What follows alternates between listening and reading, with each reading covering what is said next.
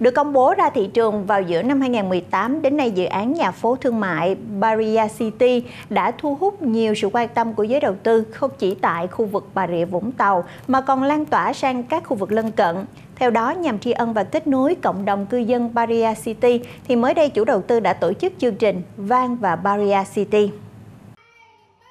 Vang và Baria City Chương trình nhằm tri ân và kết nối cộng đồng cư dân Baria City vừa diễn ra tại thành phố Vũng Tàu vào cuối tuần qua đã thu hút nhiều sự tham dự của cư dân và đông đảo giới đầu tư.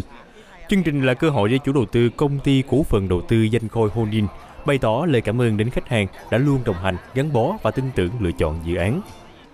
Theo đó thì đại diện chủ đầu tư ông Nguyễn Lộc Hạnh chia sẻ, kể từ khi giới thiệu ra thị trường, Baria City đã gặt hái được nhiều thành công. Những thành công này nhờ vào sự đóng góp và ủng hộ của khách hàng tạo thêm động lực cho danh khôi Holding kiến tạo khu đô thị đẳng cấp tại Bà Rịa, cũng như nâng tầm giá trị bất động sản nơi đây.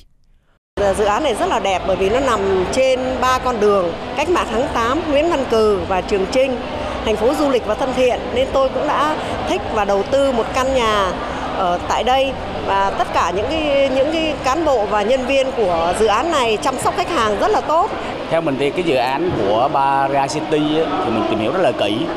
mình thấy ở đây thành phố Bà Rịa đầu tiên nó là hội tụ nhiều yếu tố nhưng mà có một khu nhà xây dựng như thế này rất là tuyệt vời. Tại vì ờ, cái gì đầu tiên thì nó mới mẻ. Cái lòng tin của họ đặt vào thì hơi ít. Nhưng nếu chúng ta có tầm nhìn như là Phú Mỹ Hưng hay là quận 2 thì những khu đó khi mà hình thành lên dự án như thế này á sau này họ ở thì rất là đẹp rất là tuyệt vời.